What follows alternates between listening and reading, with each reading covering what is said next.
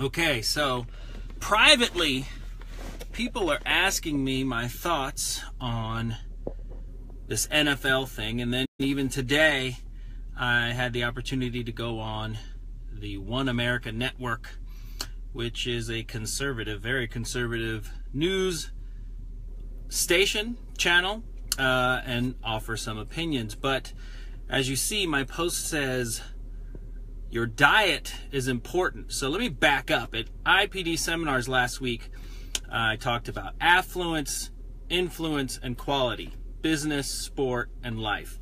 And in that sports section, the influence section, I used the example of diet. And basically, quite simply, eating less, exercising more, pushing those limits. Uh, and then a friend and a client asked me about my thoughts on the NFL and all this stuff going on on Facebook, back and forth, race and NFL and protests, and then here I am on TV earlier today talking about it, and it got me thinking, uh, and I actually was talking to my client about this as well, that our diet could be more than just the food we take in or out. Now, check it out. It is very easy to have fast food. It's easy to go to In N Out Burger. It's easy to go to McDonald's. It's easy to go grab a quick bite. And I will attest some of that stuff tastes really good when it goes down. Burgers, fries, burritos, the whole nine. I even am known to have a soda every now and then. But my point is, if we ingest that stuff daily, if all our diet is is burgers and fries and soda if all our diet is is candy and sugar and refined goods every day it will manifest into something. And technically you might even feel good but you might not be good. You could develop some kind of heart thing. You can get some kind of you diabetes um, uh, obesity all kinds of other stuff based on your diet. So, fast forward to Facebook and TV and the media.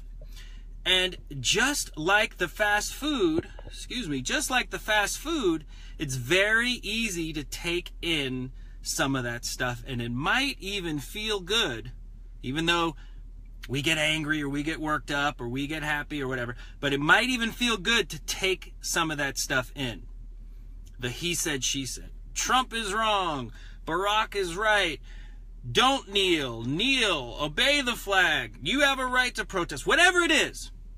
Politics aside, race aside, um, political party aside, I am pointing out the fact that it's very easy to take on and take in these stories as we're just scrolling and scrolling and scrolling. And the comments and the anger and the vitriol.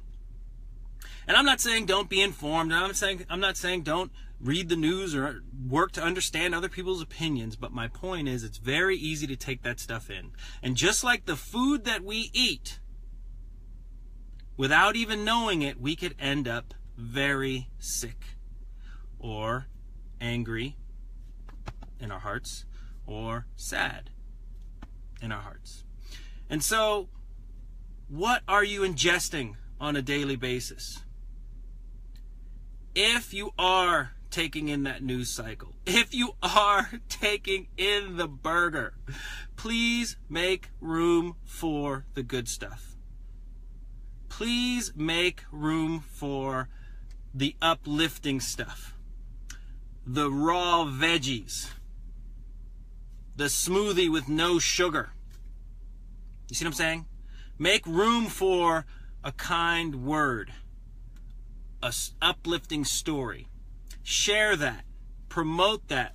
Talk about things you do like, things you do hope for, things that inspire you. Just make room for that.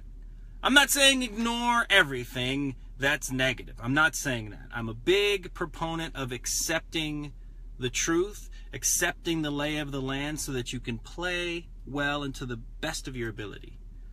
I'm also saying that from a diet perspective, what you take in, the programming not only of your vital organs and muscles and cells, but the programming of your brain, those neurological connections, those thoughts, that you make room for the good stuff.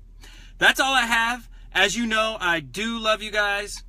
Uh, catch me on my website, drjasonrichardson.com. Listen to the Gold Medal Mindset. That would be on iTunes or on my website. And please review it. Uh, if you like it or not, review it uh, on iTunes because that really helps me a great deal. And follow me on Twitter or Instagram at real Dr. J Rich and watch your diet. Take care.